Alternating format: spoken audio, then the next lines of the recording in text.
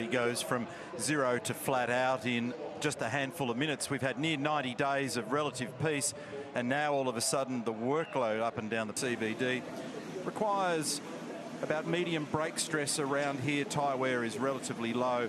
Track's reasonably dirty on day one, but we had very good speed in the first practice session, quicker than the corresponding session last year by about three tenths of a second. But Whincup in that brand new Holden Commodore for Red Bull Holden Racing Team getting the job done, two tenths of a second over an enthused Mark Winterbottom who's got some pace on his side at the moment. The spread was near three seconds. James Golding was the slowest in the field. The best of the rookies was um, actually a great performance uh, by Richie open. Stanaway in 16th position. Cars are out now for their second 40-minute hit out, our final of the two practice sessions to be held today, and then we go qualifying this afternoon, and that'll sort out the roll into the top 10 shootout for tomorrow, so it doesn't resolve the grid. Quite a lot of stories going up and down pit lane. Probably the most bizarre thing that I spotted was Andre Heimgartner with a hacksaw and some foam. That wasn't a precision instrument. And he's got, uh, he needs some more lumbar support in his seat and he's getting dead legs, so that was hurting his cause. But he still ended up doing quite a decent time. And Mark Skaife comes back into the commentary box. I heard you cover off what I spoke to Wes McDougall about as well, that for Todd Hazelwood, we're talking the rookies here. He had a slow puncture, didn't get on a, on a, a decent tyre. But that's another little sub-story within as we welcome you back into the commentary box and very interested to see what can be produced here because this will be a little bit of a preview of what's to come for qualifying this afternoon. It certainly will be, Neil. And I was also really impressed. You just spoke about Andre Heimgartner, and there's nothing worse around here than having your leg or your foot go numb. But his speed was fantastic, given he didn't put a new tyre on. And the challenge for the Nissan guys, and I like it when it happens, is who's going to be the lead Nissan when Michael Caruso and Rick Kelly, two very experienced operators, they battled last year, 12th and 13th in the championship. But for Andre, it's a very good target when you've got two well-credentialed, very good operators in that garage. Now, also, the funny thing was, I went and had a really good look at Scott McLaughlin's car.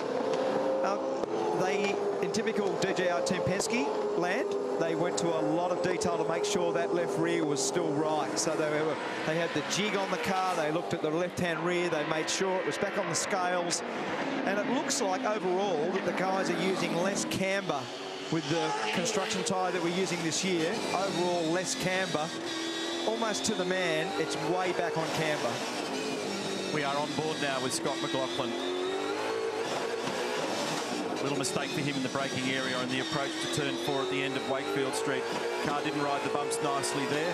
Scuffed the left-hand corner of that car. Mark's just covered off their attention to detail in managing whether there's any, any geometry impact there. This is turn eight. It's interesting to see how hard many of the drivers are working not so much at actually attacking the racetrack and they've got enough muscle memory over the years to have done plenty of this to understand what they're dealing with. I'm really interested by the number of movements that I'm seeing of bias percentage and anti-roll bar adjustments because they are in such finite mode looking for speed at the moment that they're trimming the cars. Oh, this is a big wild arrival for McLaughlin. They rehearse this to see how hard they can run into pit lane. That is slightly over the number. It's too fast. Yeah, it's too look quick. at that. And then they look at this detail later. Thank you. Ludo Lacroix on the radio, his engineer. So uh, there's a full-blown rehearsal arriving into the pit lane. Remember that all the fringes of the racetrack at the moment are very slippery because it's a temporary racetrack, a lot of construction in the lead up, so it's quite messy until everything starts to clean up and rubber in. That was that left-hand rear corner we saw there. Now, one of the interesting ones, young Stuart McDonald, who's now engineering this car for Lee Holdsworth, he got bought quite badly at the end of the last session. It lost two and a half tenths. It actually would have put Lee way up. He was back in seventh, actually, in reality. So it was a good, it was a good run from him. Just while you were grabbing some of those numbers, we caught a glimpse of Todd Hazelwood just pointing in the wrong direction down at turn nine. This is the Dunlop Super 2 champion of 2017, and it's a former Dick Johnson Racing Team Penske car wasn't nice over the curbs in the last session. That was Wes McDougall's main focus. Talked about the puncture before. They had a rookie test, and it was the first opportunity to understand, knowing that this guy and team and group have been working with the Holden Commodore. Now they've got the Ford Falcon. It requires many different things to get the most out of it. So they felt that that was a useful day at Queensland Raceway. They didn't get a lot of calories out of Sydney Motorsport Park, they felt. But because of the three very different types of racetracks, they're pioneers each time as we pick the replay up down at turn nine. Big lock of the rear brakes, and you can see how busy Todd is trying to grab that. What has been great, Wes said, he's a long way back, isn't he? He sits, he's got his arms well outstretched. You just made the gesture in the com box. Uh, what has been really helpful for them is that Dick Johnson Racing Team Penske have been tremendous in their assistance with setup sheets and data, and they're hoping to share more of that as the season progresses. Lee made a little mistake in his practice session, didn't get the most out of it and bumped into one of his senior crew members, George Smith, down there, who's an old friend of ours over many years, Preston Hire Racing. This is not a brand new chassis, clearly cloaked in brand new bodywork. Did a big job over the summer season to get this car out there. And in the first session for car number 18, it was position number 12 for Lee Holdsworth, nine tenths of a second away. Now they're running, as you said, in terms of specification, it's a Triple Eight built car but there's a few tweaks. Jeff Grech and the rest of the team have got some other engineering ideas and there's a few little tweaks that they've made to the front geometry of this car. So they're testing that at the moment. Jeff just said to me a second ago that they've actually gone back to the shock absorber that they were using at the end of last year, which just to tame the car a little bit. The car was a little bit nervous. So Holdsworth is always very good around street circuits, isn't he? He's a he's a performer on those sorts of places. Well, think back a few years ago, Townsville, uh, Sydney, Olympic Park, he was tremendous as well. Mark Winterbottom is at the top, but the fella that we're focused on here, Lee Holdsworth, has just gone into P2. So it's a 21-0 for Mark Winterbottom, who's actually come back into the lane, the Bottle-O Ford Falcon. Lee Holdsworth next, but he's got a curb hop for his trouble. That was also a big issue for Jack Le Brocq. I spoke to Adrian Burgess, team manager, team principal down there at Tekno Autosports, and they've got to get a bit on top of that one because come qualifying, you can't be that hungry at turn two. Back to Fabian Coulthard here. Good luck, mate. Just turn 11.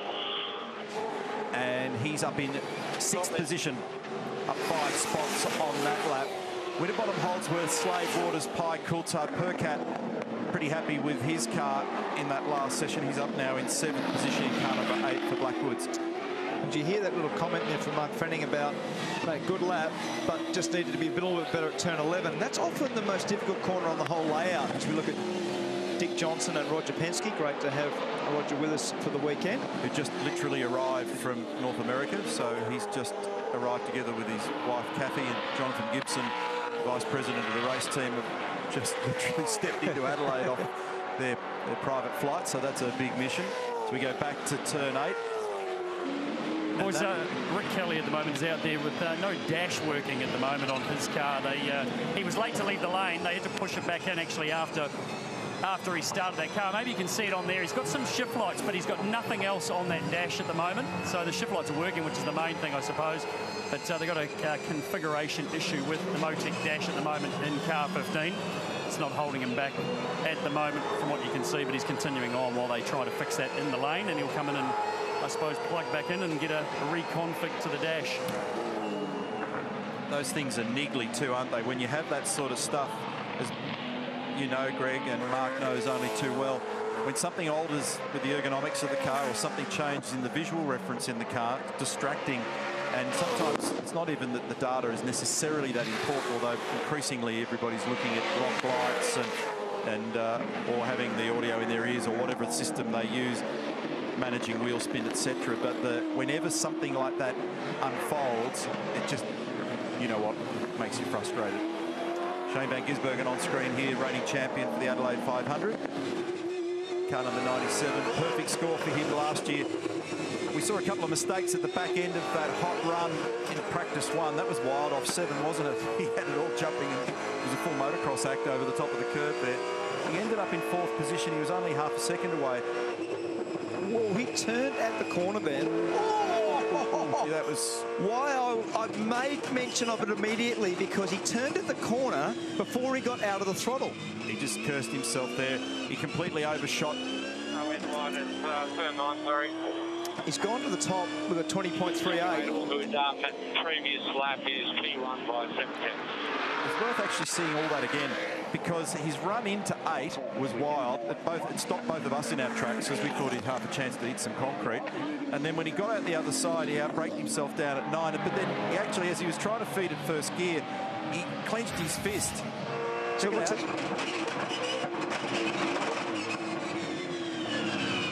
So that's the level of intensity, that's the level of frustration when you don't quite stitch it together the way you want.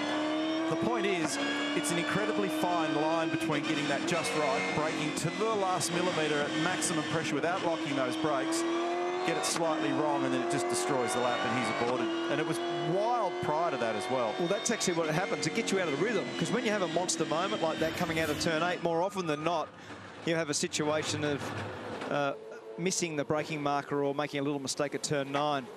So this is Hazelwood in the pit. This is the the new teal, which is the word that Michael Caruso's using for the new colour, the, that bluey sort of turquoisey colour he's calling teal. Is that all right? It's fine by me. Okay. Well, that's we his- had a couple of wild stabs over the years at colours, but that'll do. Okay. Well, he's calling it teal, and he thinks he's, he thinks it suits him.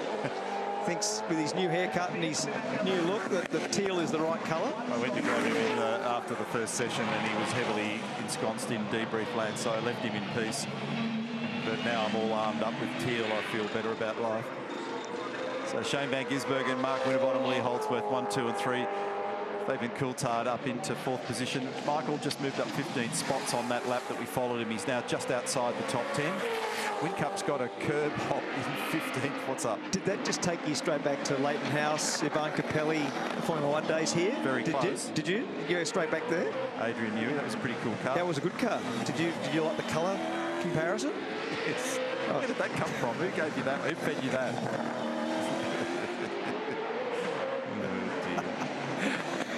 So Van Gisbergen with the 20.38, slightly slower than his teammate Jamie Whincup from P1 with a 20.16. They'll be faster at the end of this session. They'll, they'll throw more tyres out as a qualifying simulation. It's pretty animated. I noticed when I went through the garage earlier that they had rear dampers out of uh, Jamie's car. Didn't really get to have a chance to talk to Grant there, who's got one of his headset just peeled back for that conversation about what changes they made, what Shane was looking for. But that's not a bad number, 23, 20.3 I should say. And it was a 20.16 for his teammate in the last session. Not much in it. Tim Blanchard, car number 21. Cool drive entry on screen. New bodywork, ZB bodywork on this car, Cool Drive Racing. However, this is a, an older chassis, but they completely stripped and rebuilt this across summer. Preparation for the brand new year. Like they didn't have enough going on at Brad Jones Yeah. Racing. So they've uh, turned out three of these brand new cars. Sitting, uh, correction, Tim, I beg your pardon, is sitting in 23rd at the moment. Have a look at the ride height. Have a close look at the ride height there. I think a lot of the customer ZBs are running very high at the front. I heard you say that before. It makes a lot of sense. At the moment, they're not flush with spares because it's been such a crush to get everything done in a short period of time. So running that too low damages the skirt and the under tray on the front splitters on these cars.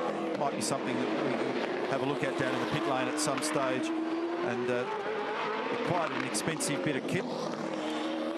Very critical to the car performance. Uh, but what you don't want is be in a position where you're in short supply. And as you said, when they're in short supply like that, they're so easily worn out on a street circuit like this, as bumpy as it is. So they produce about 130 or 140 kilos of downforce at 200 kilometres an hour. So they're quite a useful device when you're going quick. And as we pick up on Mark Winterbottom finishing that lap, just slightly slower than the previous one. So 21.08 plays a 21.13. replay of James Courtney, former Adelaide 500 winner. And that is beyond maximum attack. That's a bruise on the left rear corner of that car. Came out of the throttle, but it was too late. Van Gisbergen almost did that when we rode with him. So that'll actually be a scar that they'll need to look more carefully at down at uh, Nova One Boost Racing. So Shane Van Gisbergen about to get back in. He's fastest so far. Uh, we were inside the Tickford garage a moment ago, and I was going to make the comment about Chaz Mostert as we pick up Tim Slade, who's sixth at the moment.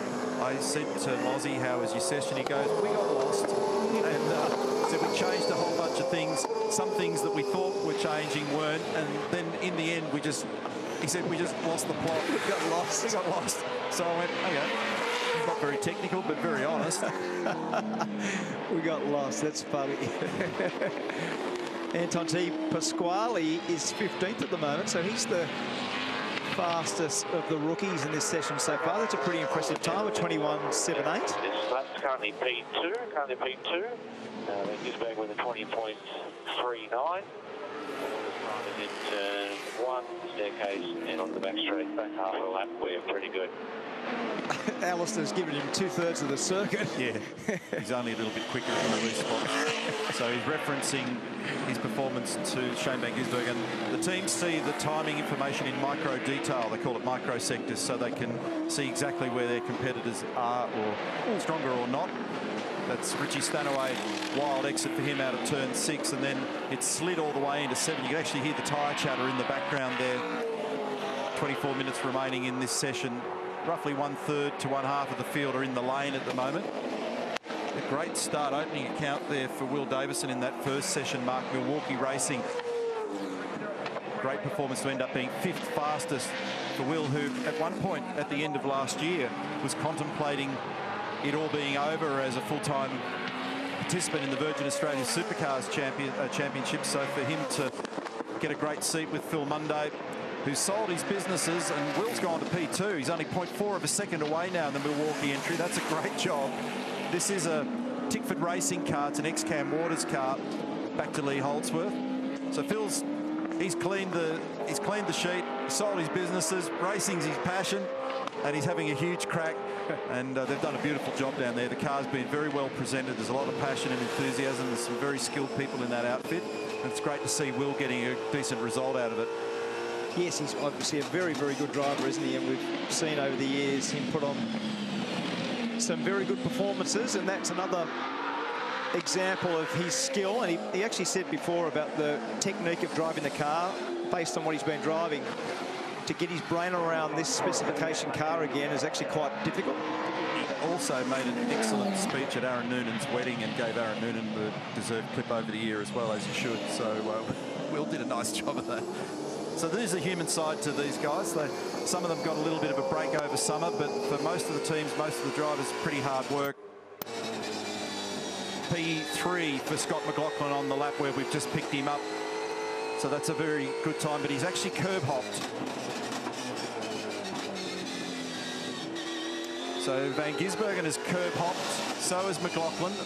Holdsworth, Le Brocq and Golding. So there's an epidemic out there at the moment all of a sudden as everybody tries to pick up the tempo. Back to Chaz Mostert.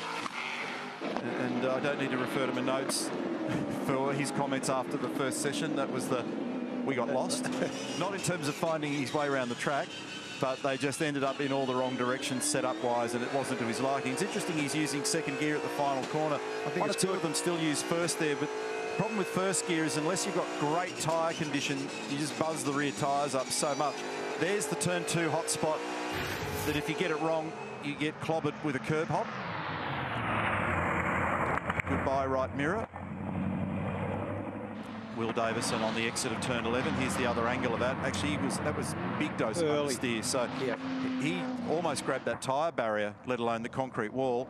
And then the action continued, so heart rate's up for Will in the cockpit there at the moment. He's in maximum attack mode, currently in position number two. Flies it over the bumps at turn two. I don't think he could drag another tenth of a uh-huh. second out of that thing at the moment. He's using every little bit of road. He'll need more than WD-40 to fix the back of that mirror.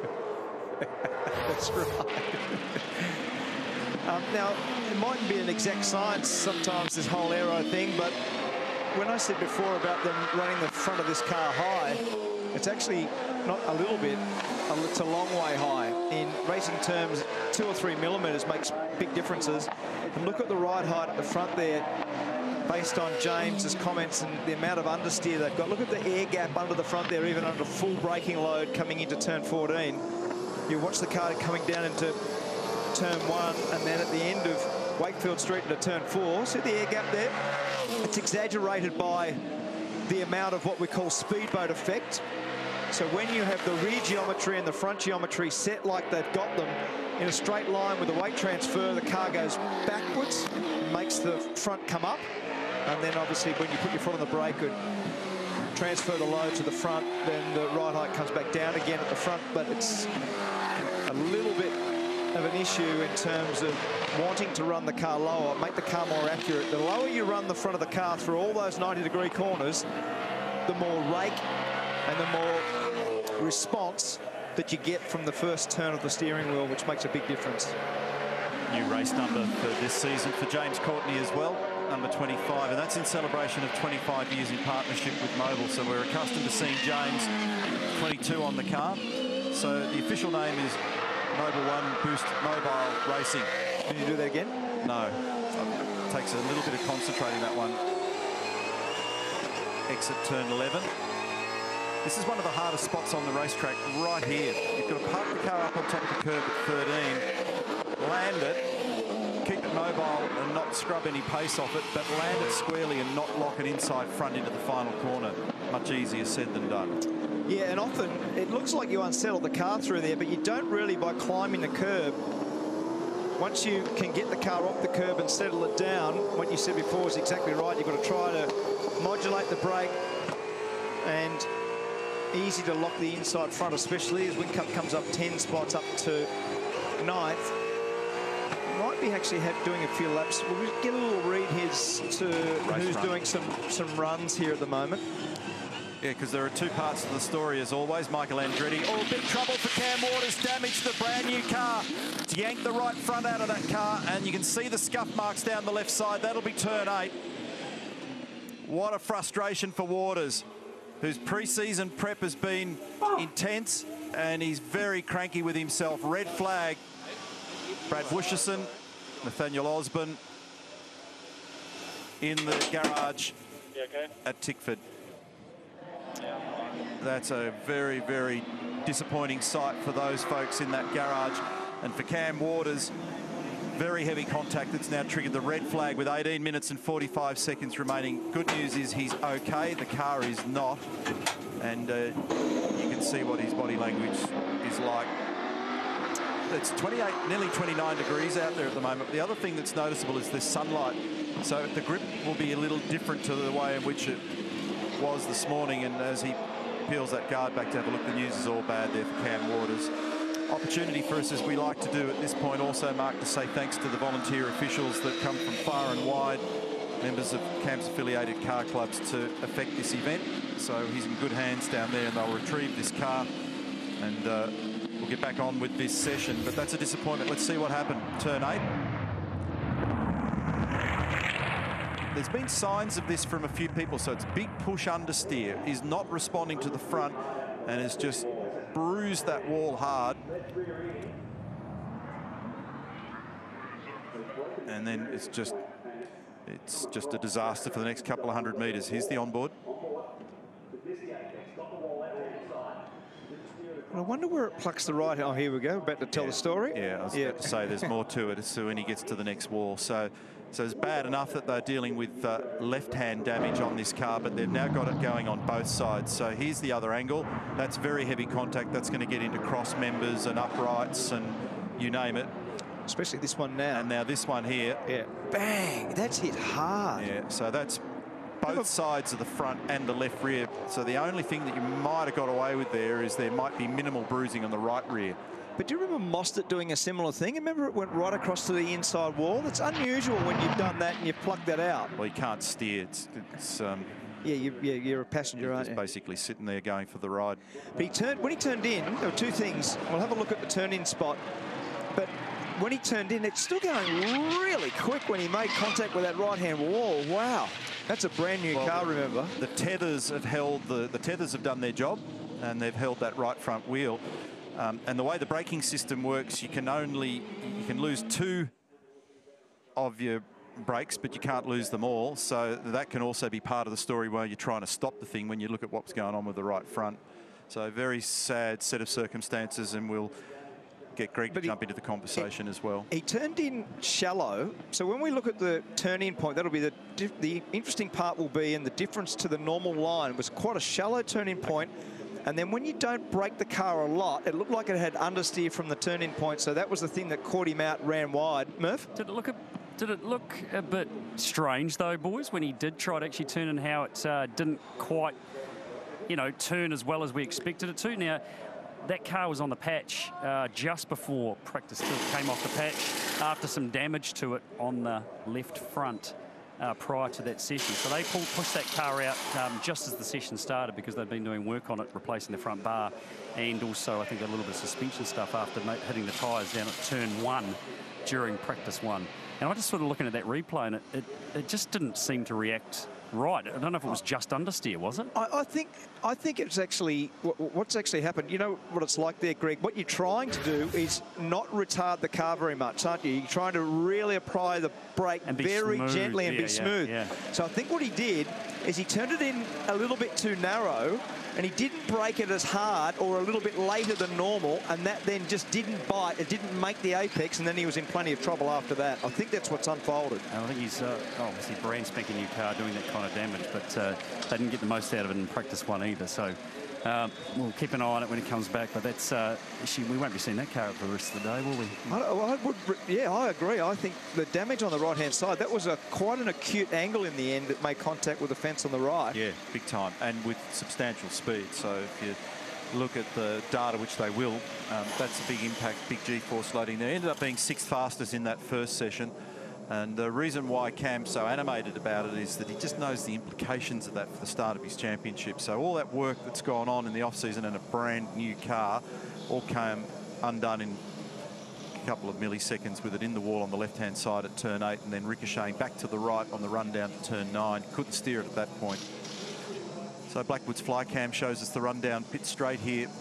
You've made the point several times over the weekend, Mark, about how wonderful it is as a driver. There's Frank Adamson from Supercars, Chris O'Toole, Tickford Racing. They're working and talking on the topic of recovery of the car and where they'll bring it back and what they'll do. It's one of the few theatres of motorsport here in Adelaide where you you get a true sense of the atmosphere in the cockpit of the car, where you can actually hear the cheering and uh, the sea of flags and just, just the animation of the crowd as you come out of the final corner is a wonderful thing. Jamie Whincup's experienced that. He's had 10 victories at this location and so far off to a good start the weekend with the fastest practice time in the first practice, 1 minute 20.1. And looking for him on the board at the moment, he's in ninth position. His teammate Shane Van Gisbergen is the fastest. CAMS race control. And uh, thank you again to the men and women that are working hard in there. You can see that they've got not only our pictures, but they've also got their own ISO cameras as well, so they can see various parts around the racetrack. This is Mostert, Chaz Mostert in conversation with Adam De Borre, his engineer.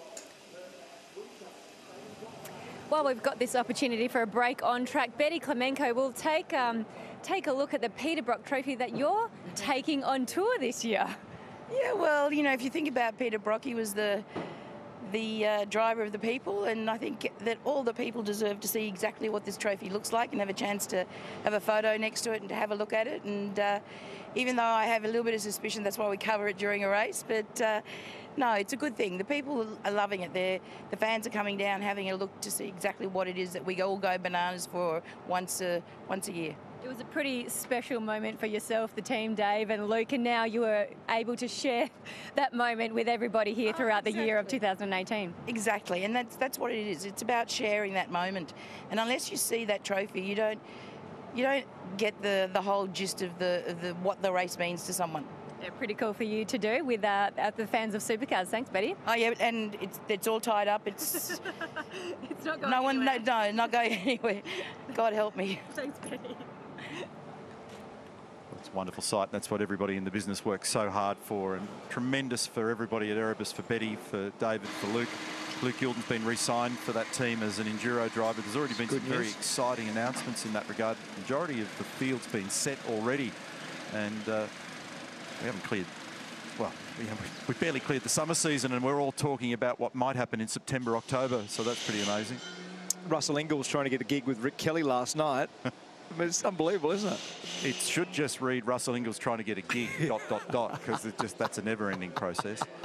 Um, Rusty French, co-owner at Tickford Racing, so he's one of the people that um, has been a passionate believer in Ford and in this race team. He's been a heavy investor in it, together with Rod Nash, Sven Burkhardt. And they've invested a lot of time, money and effort, personal blood, sweat and tears in that operation and given Ford fans lots to cheer about. If I said to you before the start of this weekend, in practice two, would Will Davison be the fastest Falcon? What would you have said to me? No. Good job, huh? Very good job, and that's why I made the point before about what reward it is for Phil Munday for his investment. Uh, Tim Edwards, these are great conversations to have. uh, that one's not new anymore. No, it's a shame when you do that to a brand new car, but anyway, it'll be as good as new by tomorrow, hopefully. Yeah, that's, uh, this, the, the primary hit didn't actually look too bad, but obviously broke, I would say, a steering arm or something that sent it across the road, and that second hit was not very nice. Yeah, I think yeah, the, the first hit's probably, as you say, plucked the steering arm off the upright or something like that. It, um, you can see there's a camber change there, but and then obviously yeah, they bounced across the road and ricocheted down all the way to the end. So yeah, there's a fair amount of damage, and I suspect even the rear, you know, that when you hit the uh, the rear as square on as you did with that, there's a fair chance that it's actually probably bent those mounts in the rear as well. Yeah. Um, going away from that, pretty positive though. Uh, next door there, Frosty's uh, obviously got a bit of a uh, you know good step going on there at the moment. He's pretty happy with the way things are going. Yeah, look, they all seem reasonably happy with the handling of the car. I mean, it's never perfect. You know, we're all, we're all trying to fine tune them, and I think you know once we put some better tyres on at the end of the session, we'll kind of get a better read where we're at. Thanks, mate. No worries. Tim Edwards, this is a poignant message. Unfortunately for the supercars community, Steve Brabeck, who was a huge investor and believer in our sport, lost his life in January. And so Racing for Steve is the message on the Dick Johnson Racing Team Penske cars. And a very sad moment when that advice came through that uh, we'd lost Steve, a popular and familiar figure in the pit lane, a huge supporter of Dick, Jill, Stephen Johnson, and then in partnership with that team, uh, you know, team that literally dug itself out in the recent past all the way to the very top of the game again in the recent past and uh, really saddened by his loss. So our thoughts in the entire supercar community are with Steve's family. Go on board now with Mark Winterbottom, who was very fast in the first session. And I was a little surprised when I heard that all four cars were so different from Tickford Racing when they first rolled them out because often it's hard to get a read from tyre to tyre, car to car, driver comment, feedback, engineering, philosophy, sometimes difficult to equate. But Mark was the recipient of really positive feedback. He, he liked the feel of the car. It flowed nicely, didn't try to bite him. And as you said, for whatever reason, there's a little vagary there because he's normally style, a little bit like Lowndes, is very reliant on the front of the car. Normally with a style like his, it would be very successful around this layout. It's always been fast, but just never really popped out with the result. As he comes up in behind his teammate. There's just under 17 minutes remaining and a little bit of frustration just building into the back there with, I think, Scott Pye in behind as they all look for a little gap. So Linus Stern, yeah, that's James Courtney. So Kelly and then Courtney got to get on with it. And there's Mostert. That slowed everybody up. Mark Winterbottom parked in behind that group. And then I think it was Dave Reynolds actually as the last car of that little squadron. Let's have a look at the sector splits, and Van Gisbergen's been the fastest in the first sector with a 27.9. Scotty McLaughlin fastest in sector two with a 19.8, and Van Gisbergen quickest man in the final sector with a 32.5. David Reynolds, car number nine. Penrite, heard from his team owner just a few moments ago. What a superb season they had last year. Bathurst win, often the fastest Commodore in the field. We rave about the 3-8 that Scott McLaughlin did to be pole position, the fastest lap ever. But the only reason he had to do that time was because Dave Reynolds had just done a 4-2. So it was a great performance. Fastest Commodore on the front row of the grid for Bathurst, wins the race. And that's a life-changing moment for he and Luke Youlden. As you just said before, great news for Luke. Oh. There's a drummer there with Tim Blanchard in the right rear of the CoolDrive Commodore. Now, is that damage or we got the wheel off? I think the wheel off. Yeah. So was that encouraged or was that a mistake leaving pit lane? Which one will get in first? Line going to go with the yeah, wheel's come off. Could be a dead heat. That's awkward, isn't it? It's actually delivering itself to Dunlop. So yeah, Dunlop garage, garage just there. about 20 metres away. So if they'd, if they'd, let it go, it would have rolled in there. They could have plucked it off and changed it. Please unfit me. Yeah, please unfit me. so what's going on there? This is the CoolDrive entry, Tim Blanchard. This is a Brad Jones Racing entry, and they'll be very concerned as to what's going on there and why. Yeah, in this business, anytime that a wheel comes off the car, it doesn't get any worse. Gentleman in the on the far right against the wall is uh, Pete West, the team manager. He's a cool head who's been in the Formula One pit lane for a long period of time. So they'll be studying their notes and understanding what's going on there to figure out why. Andre Heimgartner is on screen at the moment. He's just come up nine spots into position five, car number seven He's taken that seat from Todd Kelly, who stepped back for 2018, and he's now in a team management role. And he had uh, a real problem with a dead leg, his right leg breaking in that last session. It's an ergonomic issue, so they were making another little seat insert for him when I went down into the garage just to make him a bit more comfortable in this session, but that's a very good start for him with this new team. And he was really happy. He said I just I need to know more and understand more about the car. Obviously the ergonomics are not quite right driver comfort's not quite right. He said it's a very different car to drive than any of the other cars that he's driven but he was pretty happy with the balance. Car number eight. Nick Percat on screen there in the Blackwoods entry. And he's currently sitting in 10th position as we go back to Richie Stanaway.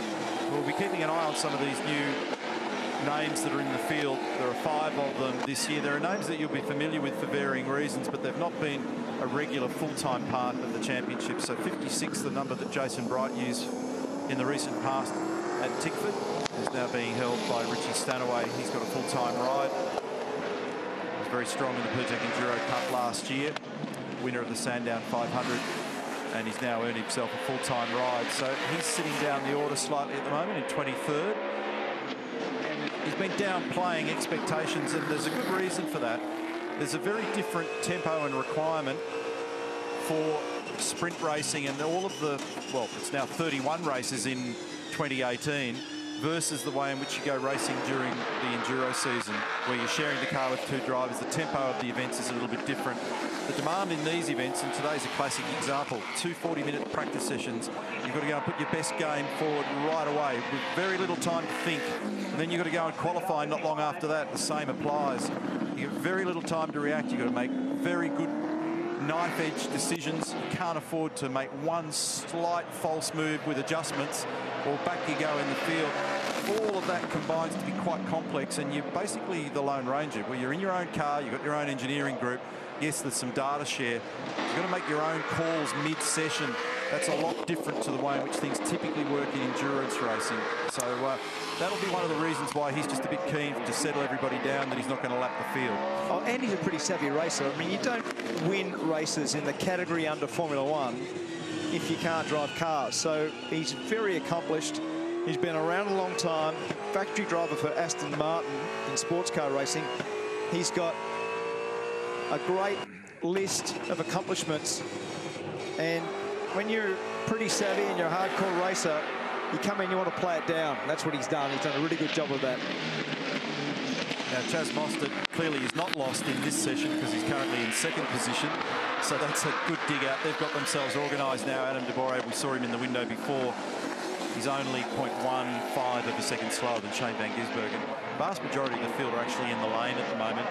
We've got just over 10 minutes remaining, so we'll see another burst of activity pretty shortly.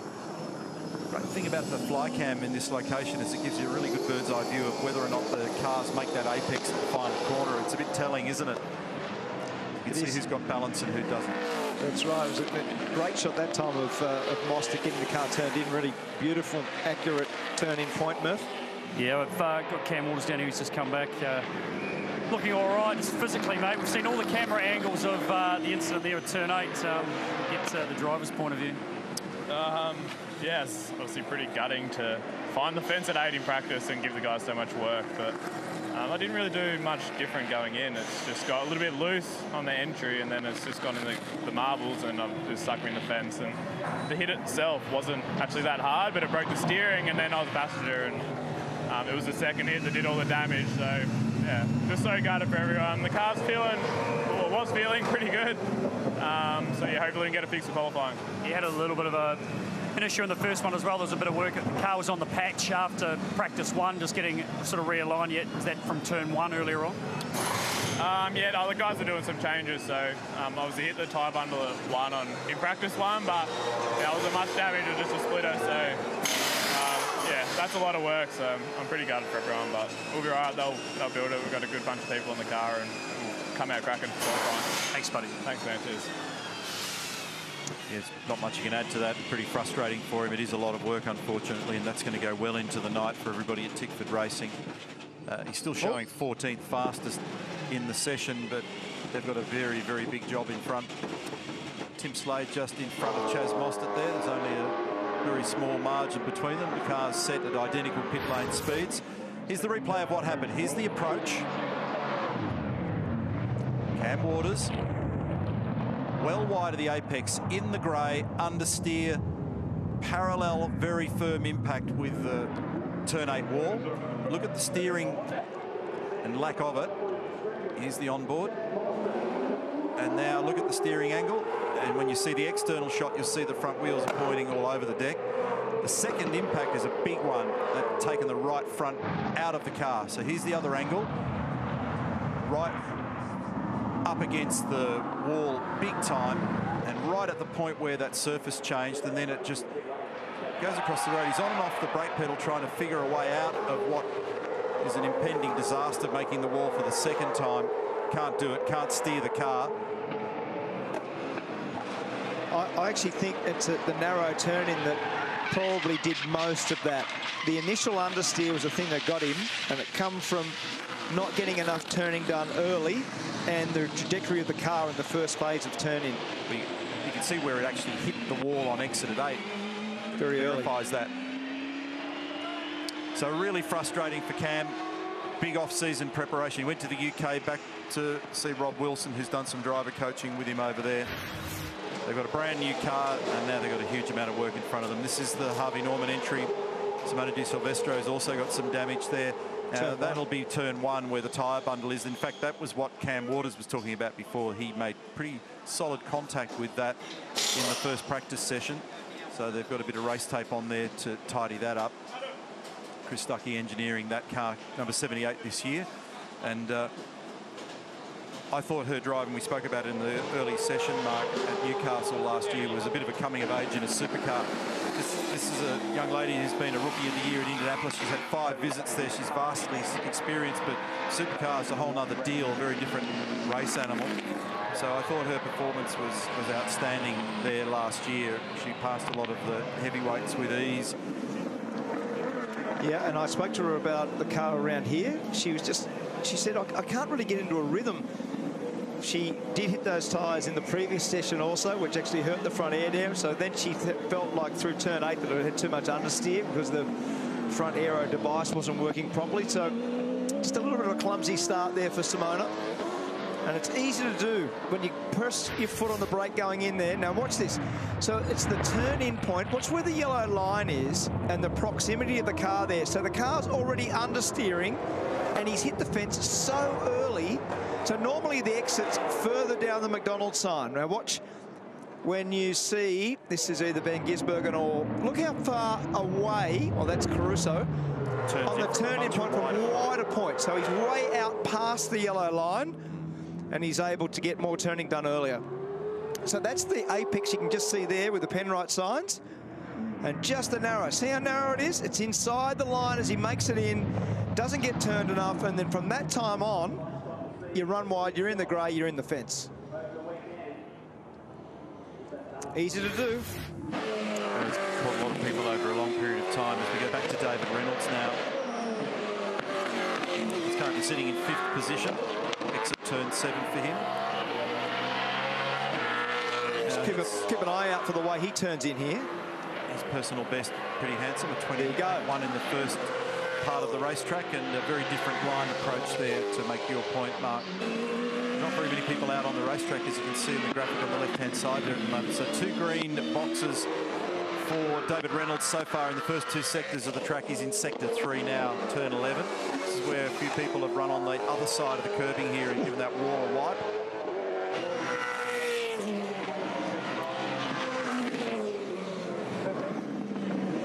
What will this do for Dave Reynolds? Because it's his fastest first and second sectors, but they're about two and a half tenths. He go up a little bit.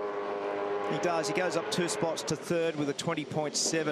So Van Gisbergen, Mostert, Reynolds, Davison, McLaughlin, Heimgartner, Rick Kelly, Coulthard, Holdsworth, Tander. That's your 10. There's a fair few that haven't really had a proper run yet. We're about to see some serious qualifying simulations. New tyres there on car one. Whincup's currently 13th. Winterbottom's 11th. Of the guys who haven't had a major try yet, Craig Lowndes will be one of those. He's down in 20th. Caruso's in 19th. James Courtney with that wall damage earlier is down in 22nd. So there is a lot of sunlight, but the track might have lost a little bit of grip based on temperature, but it could have gained a little bit of grip based on cleaning up and rubbering in. We saw a 20.1 for Whincup in the first session, quicker than the corresponding session last year. And when you stop and compare that to the records at this location, it's not a bad time, is it, Mark? So on the sort of numbers that we're seeing here at the moment, there's some opportunity that we might get into the 19s. If you're in the 19s here, you're talking about the sorts of numbers that Van Gisbergen achieved in qualifying last year, better than the lap record. So the qualifying record's a 19.2 for Shane, did that last year. The lap record actually belongs to uh, Scotty McLaughlin. He did a 20.4. So we've got just over three minutes remaining now in practice number two. The Adelaide 500, first round of the 2018 Virgin Australia Supercars Championship. This is James Courtney. And uh, James at the moment is down in 23rd position. Make that 14th on this lap, so that's a decent improvement for him. Car doesn't ride the curb anywhere near as nicely as the Red Bull Holden Racing Team cars. That car of Van Gisbergen's just soaks the bumps up. Uh, Whincup must have had a little drama, or he's just about to start a lap, has cleared the traffic. Yeah, I'm just looking at where he's on our uh, tracker here at the moment, and he's bottled up a little bit. He's just trying to find an air gap so that he can stitch together a lap here. This is coming into the final corner. We should Rick see Kelly. some fireworks with just a little more than two minutes remaining now as everybody gets set. So let's see what Whincup's best shot is and whether it does it on the first or second lap. I looked at some data after practice one. Most people did it on their first lap. This is the run up to turn four. This is where McLaughlin came unglued in the first session. It's bumpy right here. He gets it back to second gear. He feeds it in a bit early. It didn't ride super nice over the bumps, but trying to get a car to work perfectly there is a tough task. Turn five, where last year he tangled with Mark Winterbottom. Six, he's closing on this traffic. That'll start to be a problem. You might even end up with some aero disturbance down here at turn eight. No, Not now. not good call. So is that uh, James Courtney or Scott Pye? I think it's Scott Pye on the right. Here we are, Let's have a turn listen. eight. In nice and early. Car was very stable through the high-speed run. Fastest middle sector. Got a lot of curb hopping going on out there at the moment. Traction coming out of that hairpin was very good. No sliding for Whincup. This is turn 11, second gear. All flat shifting, little micro switch on the gear lever to pull it through flat from one gear to the next. Whoa, too Gets deep. it, gets it back to first. Ran very wide. What a shame. So that not only hurts that lap, but it hurts the start of the next one. He's only got 50 seconds remaining. So that mistake just cost one second. Yeah, and, and that will kill the beginning of the next one. So here it is from the other angle. You'll get a much better idea here. So he's fired in there. The right front is locked. So I was talking about before with clearing turn 13 and then getting the front of the car to land. And uh, that'll have put a mark on that tyre and run him totally wide. So then the next part of the problem is it murders your run onto the straight. So your terminal speeds are down corner exit speeds down, the terminal speeds down. So the next lap is cruel, and we're almost at checkered flag point. Van Gisbergen is still the fastest. Tim Slade is up in third place. This is a good start for the Adelaide driver. Chaz Mostert still sitting in position number two. Clock at zero. Checkered flag is out. Slade's come up into P2. Great performance. He's only 0.1 of a second away. Van Gisbergen, Tim Slade, Chaz Mostert, Nick Percat and here is Nick, another Adelaide driver, Brad Jones Racing. We've got McLaughlin looking pretty speedy out here at the moment. He's going very quickly in the mid-sector. Percat's gone P2. So keep an eye on car number 17, and that'll be a familiar phrase this year. So has he got traffic to contend with here? But McLaughlin looks pretty speedy. That's his teammate, Fabian Coulthard. So Van Gisbergen, Percat, Slade, Mostert, Reynolds is in the pit lane, Winterbottom, Tander, Davison, McLaughlin's currently ninth, but on target for a gain. Does Coulthard improve? Yes, up to seventh. McLaughlin P1 at 20.3. Shell V-Power racing to the top. He's got three one hundredths of a second over Van Gisbergen. There are still laps to be completed. Here comes Lowndes in the Autobarn entry. And Craig at the moment is down in 22nd. He moved it up to 15th on that lap. But that is a great performance by Scotty McLaughlin. So in the two sessions that we've had so far in our brand new season, first blood to Red Bull and the second one to Shell V-Power Racing. And that's a continuation of exactly the way in which we finished the back end of last year. And your point about the sunlight and the temperature of the day has definitely slowed that session. They're two tenths slower than the previous session. So the cars are better, the drivers are better, there's more rubber down, but the atmospheric condition is slower. Good job, Scott McLaughlin. Very nice lap to finish that qualifying simulation. So we've seen quite a few people in replay down here clobbering the tyres, but that uh, was a nice one for McLaughlin. In fact, if anything, he might have overstepped slightly. But great finish to that session for him. Look how tight the margin is between McLaughlin and Van Gisbergen, the Kiwi countryman. And then good news for Adelaide motorsport fans with Nick Percat, a former Adelaide 500 winner up in third. His teammate Tim Slade was up in second at one point. He finished up in fourth. Chaz Mostert not lost in this session, up in fifth. David Reynolds, Mark Winterbottom. Looking further down here, Craig Lowndes did squeak in a lap right at the end that vaulted him up into 15th. Andre Heimgartner, well done, right there with his teammate Michael Caruso. And then looking further down at some of these rookies, and not so rookie, Jamie Whincup with that mistake down in 16th mark. And then a couple of these other fellas that we've been talking about, Jack Le Brocq 21st, Anton De Pasquale 22nd, Todd Hazelwood 23rd, Richie Stanaway 25th. So a little bit of work to do for those guys and not unexpected when you consider the task at this racetrack. Yes, very demanding layout, very easy to make a mistake caught Whincup out when he didn't get enough curb there at turn 13, ran wide. That shot that we had a moment ago as we go inside the garage at Shell V-Power Racing reminds me of uh, a couple of important tactical points for later in the weekend. Craig Lowndes, Jack Le Brocq will be sharing a pit boom. Tim Blanchard, Todd Hazelwood will share a pit boom. Lee Holdsworth and Will Davison will share a pit boom. And that becomes a bit important in the strategy. Highlights now, practice number two, Adelaide 500. First hit out for the Virgin Australia Supercars Championship of 2018. And more sunlight on the racetrack, and that was to become a factor at the end game. Car number 25, James Courtney put a bruise in the left rear corner of the Mobil One Boost Mobile Holden Commodore and that delayed his progress. But an even bigger scar for car number six, Monster Energy Ford Falcon for Cam Waters.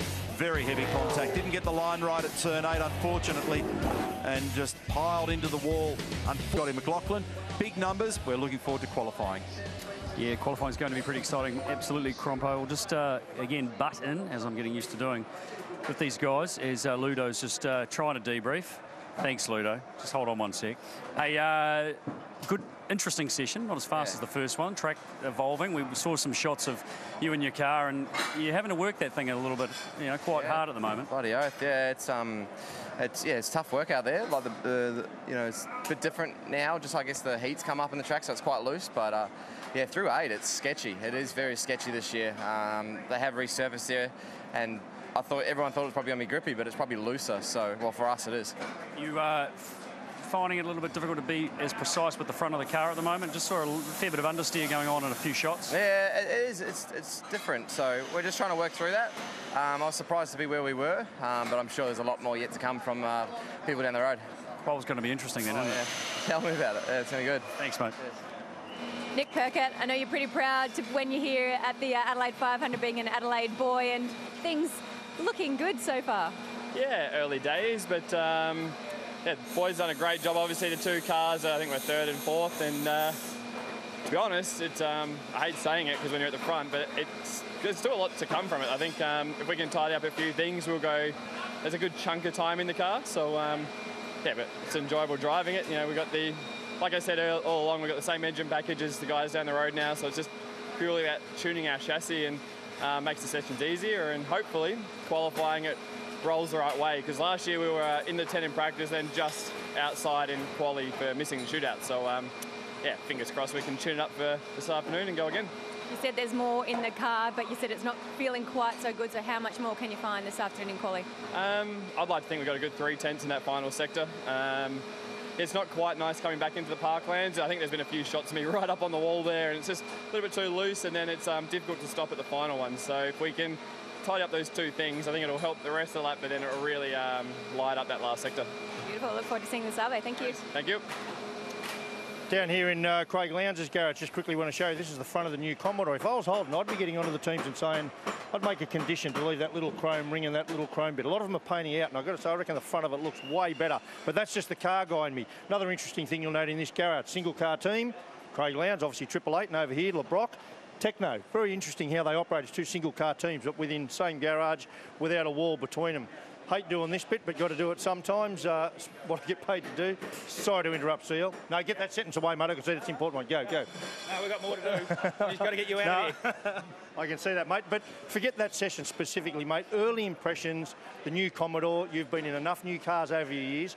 Where's this one fit? Um, it's actually really nice. I think it's got great potential. It just it's got good rear stability. Um, I think we're all suffering a little bit of front, but that's just the aero. Like obviously everyone's got to understand the mechanicals under the car are all the same. So um, for us, we just got to untap a little bit of the car itself and the way that it's balanced. Ride height's quite crucial, um, and that's something we're playing with. Just on that point, Skaifey picked up, and he's dead right. When you look at the vision on the cameras during the session, all the Holdens, for obvious reasons, there's not many spares here, are running very high not to damage the splitter. That's hurting for sure. Oh yeah, but we're lowering it as we're going. So uh, yeah, you're right with that, that statement, or Skaifey is. Um, he's still got good eyes, and um, um, so yeah, so we're just sort of playing around with getting a balance of the car. As you know, we did a bit of a race run then. Um, the car was actually quite good in race trim. We just got to make sure we sharpen it up now for quality. All right, mate, I'm only coming and asking because a lot of us want to see you do really well this year, pal. Thank you. Tim Slade, we're gearing up for qualifying this afternoon. You were the super fast man at the opening test season, uh, opening test at the start of the season. Has that transferred here in Adelaide? Yeah. Um, it feels quite different. Obviously, um, extremely different circuits. Uh, but yeah, so far today we've had pretty reasonable pace. Um, yeah, I mean that, that session then worked out relatively well for us. So um, yeah, so far seems pretty good. Qualifying's a bit away now, so I'd imagine the conditions will change a little bit. So um,